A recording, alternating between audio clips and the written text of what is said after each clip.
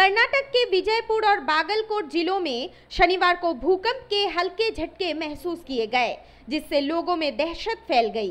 विजयपुर नागथाना, अलियाबाद, घोसांगी कल्ला कवतागी सोमदेवरा हट्टी इंडी और बसवाना, बागवाड़ी में सुबह छह बजकर इक्कीस मिनट पर भूकंप के झटके महसूस किए गए। यहाँ भूकंप की तीव्रता चार दशमलव छह मापी गई। विजयपुरा क्षेत्र में भूकंप का केंद्र 10 किलोमीटर नीचे था। विजयपुर जिला आयुक्त विजय महंतेश दान मनावर ने लोगों से संयम बनाए रखने की अपील की है। अधिकारी घटना के बारे में जानकारी एकत्र कर रहे हैं। इस बीच बागलकोट में जामखंडी शहर और आसपास के इलाकों में कई स्थानों पर भी भूकंप के झटके महसूस किए गए। जिला प्राधिकरण राष्ट्रीय भूकंप विज्ञान केंद्र और कर्नाटक राज्य आपदा प्रबंधन प्राधिकरण के अधिकारियों के बीच बातचीत जारी है।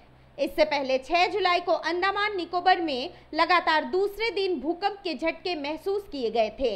नेशनल सेंटर फॉर सिस्मोलॉजी के मुताबिक सुबह पाँच बजकर छप्पन मिनट पर आए इस भूकंप की तीव्रता रिक्टर स्केल पर चार दशमलव छह मापी गई थी। इससे पहले जम्मू कश्मीर के डोडा ज़िले में सोमवार को तीन दशमलव दो तीव्रता के भूकंप के झटके महसूस किए गए थे।